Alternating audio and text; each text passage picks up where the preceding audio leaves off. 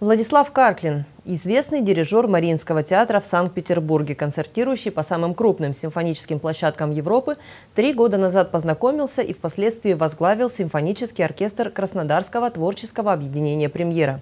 Теперь в плотном графике музыканта большие концерты на сценических площадках чередуются с выступлениями, которые оркестр дает в городах Краснодарского края.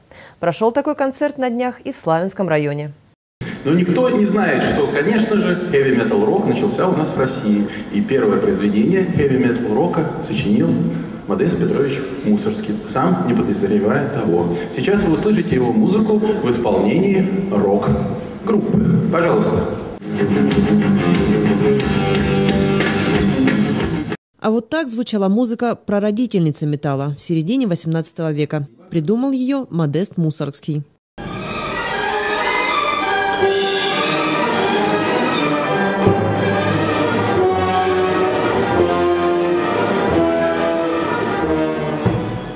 На таких примерах на протяжении часового концерта строился диалог между музыкантами и зрителями.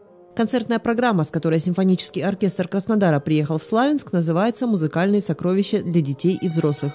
В ее рамках зрители знакомятся с бессмертными классическими произведениями Россини, Мусорского, Грига, Глинки, Чайковского и многих других известных композиторов.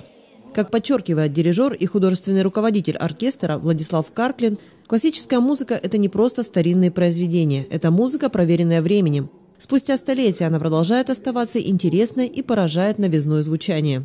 Стоит отметить, что для классического коллектива зритель был приглашен сложный. В основном в зале сидели дети, учащиеся школ города. Но, как отметил в нашей беседе после концерта Владислав Валерьевич, от юных зрителей чувствовался отклик. На Кубани многие люди считают, что симфоническая музыка, классическая музыка, опера – это как бы не их искусство. Вот. И я стараюсь своим творчеством пропагандировать, конечно же, то, что, то, что вы сейчас увидели. В зале была абсолютная тишина. Дети слушали произведения. Конечно, они связаны были со сказками, но произведения это писались композиторами не для детей. И с небольшими пояснениями дети с открытыми ртами прослушали всю программу. Я думаю, если бы мы продолжали играть наш концерт, они бы сидели и дальше бы слушали. А какой восторг испытывают э, маленькие детки – вы видели.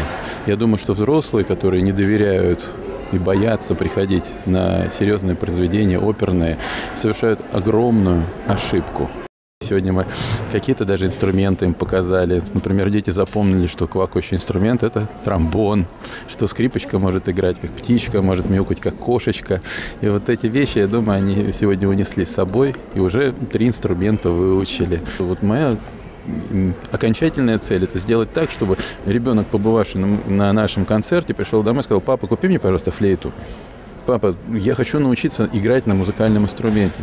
Владислав Карклин является создателем представленного цикла. Его цель – приобщить детей к музыке, а через детей донести классические произведения и до взрослых. Ведь в отличие от столичных городов, традиция посещать подобные мероприятия у нас пока не развита.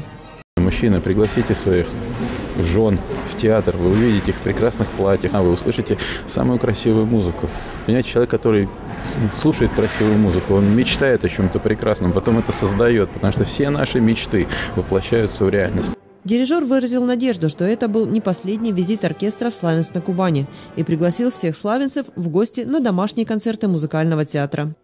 Мария Климова, Георгий Калинин, программа «События».